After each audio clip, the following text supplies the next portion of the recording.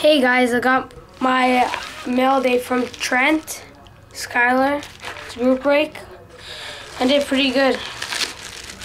I already opened it, but I don't know what's inside. Let's see what, what I, I did like one of the best in the group breaks.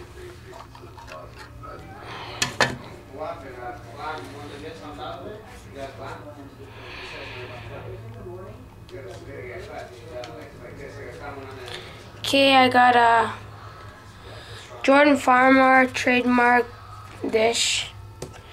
Uh, Elgin Baylor trademark swish.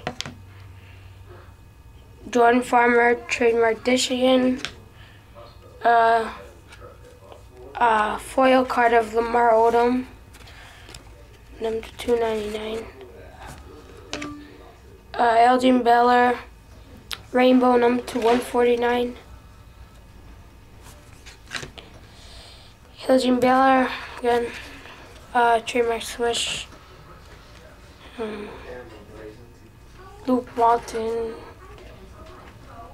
Ah, uh, fuck you! I swear to God!